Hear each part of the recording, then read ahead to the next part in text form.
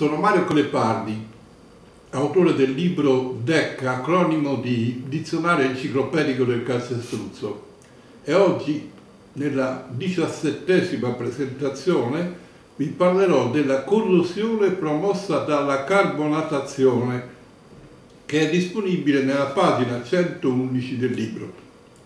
L'aria, ed in particolare l'anidride carbonica, l'ossigeno e l'umidità in essa contenuti, può provocare la corrosione delle armature a seguito di un fenomeno denominato carbonatazione. In realtà il ruolo dell'anidride carbonica CO2 è quello di un complice, mentre i veri killer nei confronti dei ferri sono l'ossigeno e l'umidità, come è mostrato nel processo che riguarda la corrosione dei ferri d'armatura.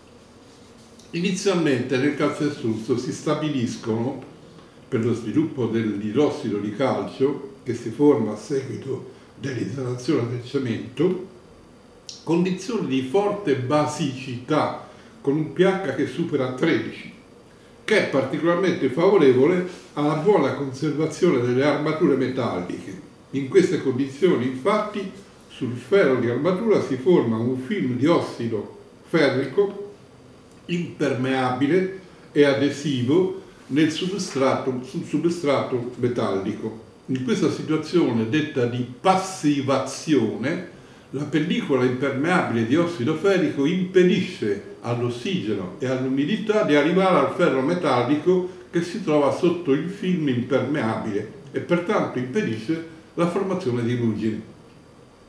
Quando però la zona di calcestruzzo che protegge i ferri, il copriferro, è completamente penetrata dall'anidride carbonica, la situazione cambia radicalmente. Infatti l'anidride carbonica annulla la basicità a seguito del processo di carbonatazione che consiste nella trasformazione dell'idrossido di calcio in carbonato di calcio. CaOH2 più CO2 è uguale a CaCO3 più H2O. A seguito di questo processo, la calce di idrolisi è in tutto in parte neutralizzata ed il pH scende a valori di circa 9. Il ferro, già pH 11, perde la sua passività. Si parla di depassivazione, cioè è in grado di subire la corrosione secondo la reazione che porta alla formazione di ruggine. In sostanza il film di ossido di ferro inizialmente protettivo per la sua impermeabilità all'ossigeno e all'acqua diventa poroso ed incoerente se il pH scende sotto 11 e non è più in grado di bloccare l'accesso dell'ossigeno e dell'umidità al substrato metallico.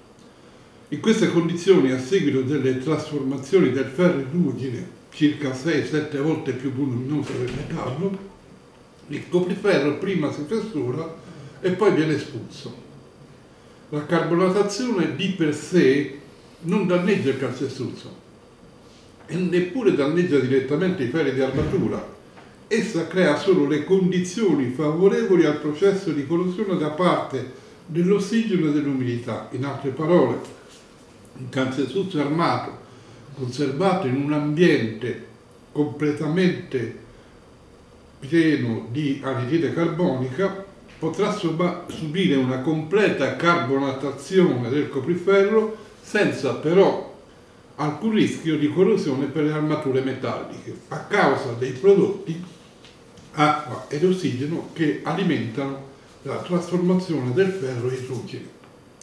La velocità con cui il fronte della carbonatazione avanza nel copriferro segue una legge del tipo x uguale a k per radice di t, dove x è lo spessore di calcestruzzo penetrato dall'anidride carbonica al tempo t e k è una costante che dipende dalla qualità del calcestruzzo, in particolare dal rapporto acqua-cemento e dal tipo e classe di cemento, ma anche dall'umidità relativa dell'aria, raggiungendo un valore massimo quando questa è circa 60-70%. Come ci si può difendere dalla, dalla corrosione promossa dalla carbonatazione sostanzialmente con tre accorgimenti. Uno, ridurre il rapporto acqua-cemento per ridurre la, la porosità capillare della matrice cementizia. 2.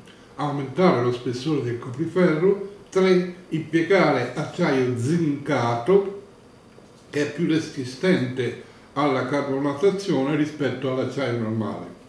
I primi due accorgimenti trovano riscontro quantitativo nelle normative attraverso l'imposizione di un vincolo sia sul rapporto acqua-cemento che sullo spessore di copriferro. Prima di concludere questa presentazione vi invito ad iscrivervi alla newsletter del sito encosrl.it per rimanere informati degli eventi organizzati.